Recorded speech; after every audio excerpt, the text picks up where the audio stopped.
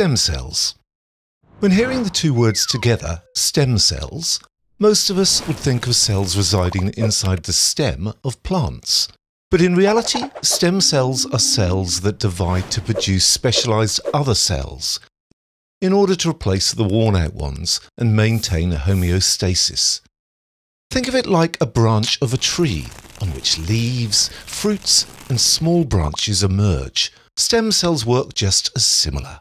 Specialized cells are differentiated from its precursor stem cells to maintain the body's internal environment. Until now, two kinds of stem cells of human sources have been known embryonic stem cells and adult stem cells.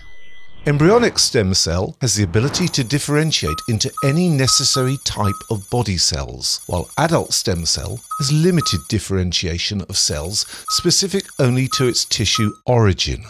To avoid the ethical issue in research, embryonic stem cell can be recreated by replacing the egg cell's haploid genome with adult's diploid genome, as in the case of the clone sheep Dolly, or by introducing several IPS genes into an adult skin cell.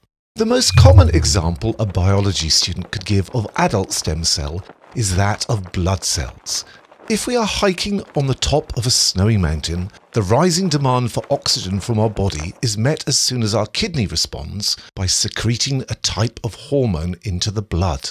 This particular hormone sends a signal to bone marrow for the differentiation of stem cells into more red blood cells to fulfill our body's need. Stem cells are also being cultured to create skin that can be grafted on burned bruises. Another example of cultured stem cell is cultured meat. The meat grown in a lab may be considerably more beneficial to our health and environment than conventional meat. In addition, plants are also possible to be created in labs by providing a specific amount of nutrients and growth factors for the undifferentiated, non-specialized stem cells to start generating shoots and roots.